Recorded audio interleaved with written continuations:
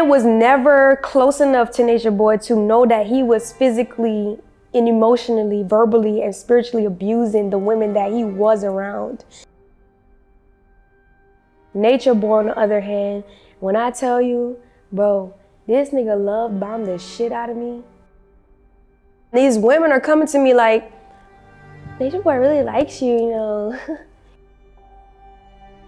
From my understanding now, looking back, every woman that he's ever gotten with was never based off of any value.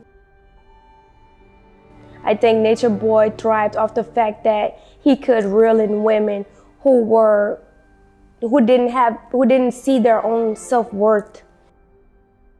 I started to like allow these women to come in, but I never had a say so. I never got to choose these women. I never really got a chance to know these women.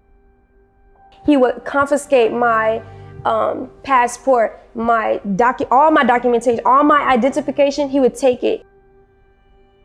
The abuse first started. He was never physical. He was always emotional and verbal. But I never looked at that as abuse because I come from that.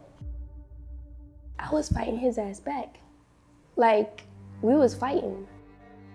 He wanted to take her virginity, and he told me that he wanted to do that. And I was like, you know, you're not doing that, not on my watch. Because I can't physically perform with him or be with him. So he's forcing me at this point with the women, without the women. And I'm sitting there like, I want to leave. Mama Dia was the most beautiful person I ever met in my entire life. I had no idea that she was going through what she was going through. I had no idea she even had a heart condition and I watch him pull his thing out and put the phone camera on it. And I know he's on the phone with the guy. Every time I would leave, I would get tested. And every time I've left, I had nothing came back. And it came out to be that Nature Boy wanted these men to be eunuchs.